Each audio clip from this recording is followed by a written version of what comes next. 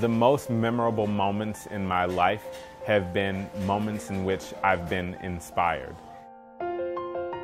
We used to produce 97% of the apparel that we consume here in the United States. Today it's less than 3%. What we try to do at Maker's Row is to change the narrative, to encourage the brands to start producing in the United States so that you see more made in America products on the shelves. I'm a big believer in, in positive thinking. I want to be a good representation of you know, a Latina woman that is an entrepreneur, it's a lot of pressure, you know, sometimes because there's not a lot of women in tech, there's not a lot of Latinas in tech.